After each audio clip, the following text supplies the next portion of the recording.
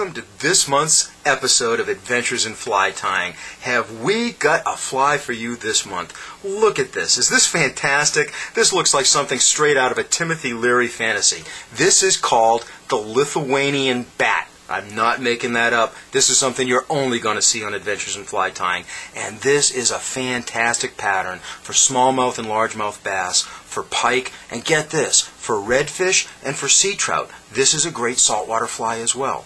Now, to tie this, we're going to use a very unique hook. As you can see, that's not a fly hook. That's actually a jig hook. We're using the Mustad 34185D.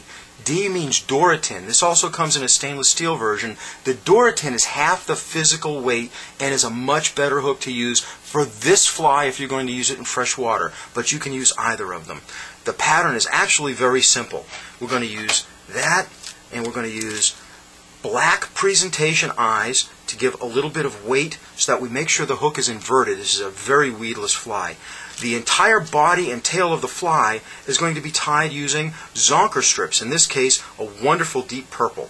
We're also going to use, just to add a little bit of action, some rubber leg material and the entire fly is going to be finished with a little bit of sparkle chenille at the head just to add that unique look for it. The Lithuanian bat. You know what? You gotta love this pattern. This is a great one.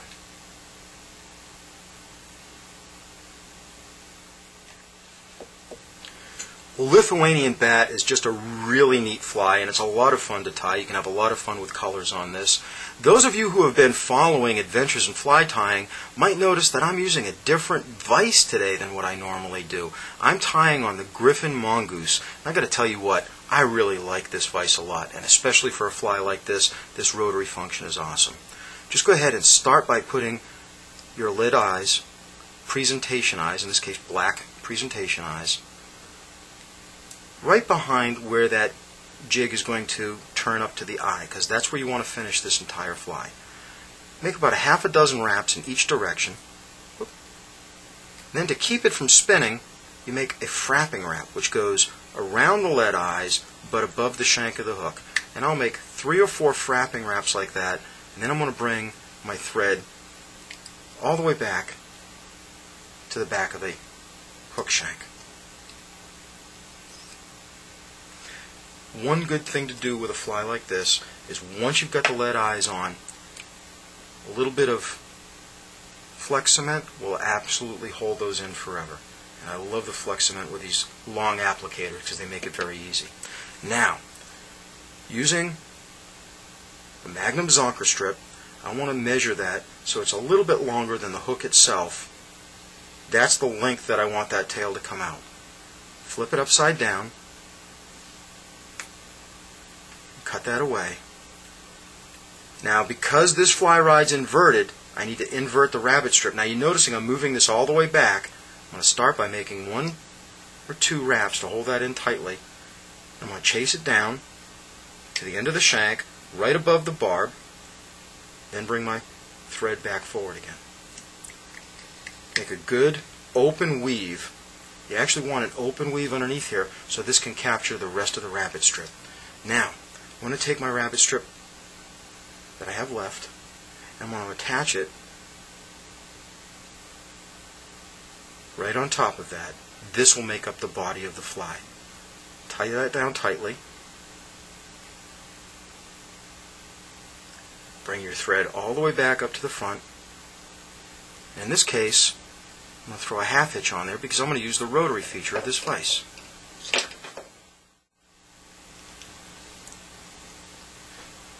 Take my thread, put it over the bobbin rest. Now, once again, a little bit of glue underneath here will really help to hold this fly together and make it almost completely indestructible. It's very important that you hold this tight and begin to wrap that rabbit fur. Every now and then stop and just kind of stroke the rabbit fur back. And boy, you can make such a neat body when you do this with a rotary vise. What a great invention. That's as far as you want to go. Because now we have to tie in the rubber leg material. So what I want to do is take just one or two wraps of thread to hold this in place.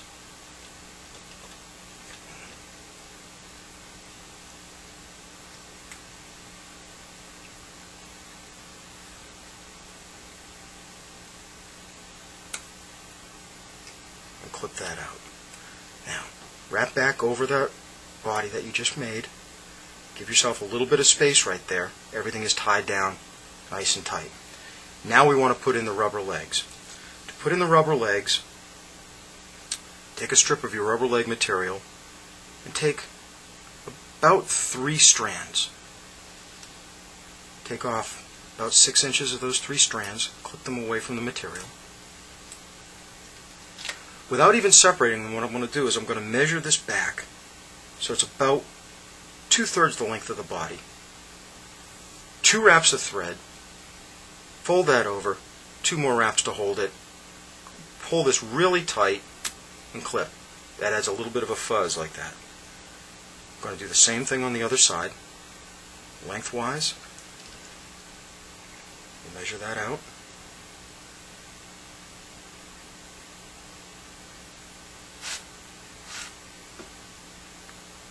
Two wraps to hold it in place,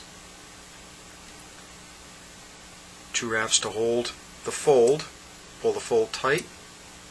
Now, with each one, if you just hold, pull them out and release them, hold them tight and release them, they'll all separate right out. Isn't that neat?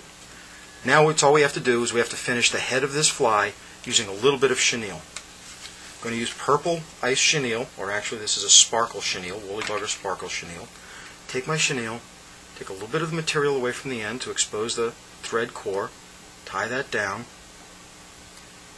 get my thread back up in front of the hook eye. Now for this, you can use the rotary function, but since we're going to figure eight, it's actually a little bit easier if I do this by hand. One wrap behind it, one wrap up and over, come underneath, X to the back,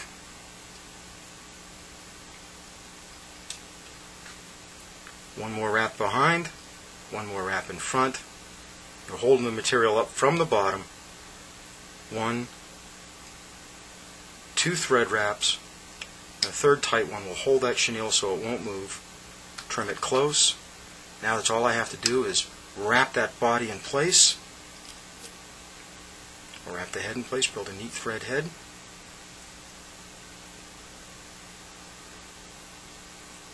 Throw a whip finish on it.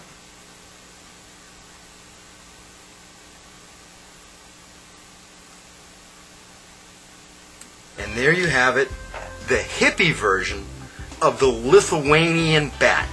What a fantastic pattern. Get out there and fish this one for smallmouth. Absolutely fish this one for a largemouth. You know, purple is a very taking color for largemouth bass. So all you have to do is read Bass Bassmaster magazine and you'll find that out. But what a pattern. This definitely will work on a lot of different animals. Look at that. Fantastic. The Lithuanian bat. You're only going to see that on adventure.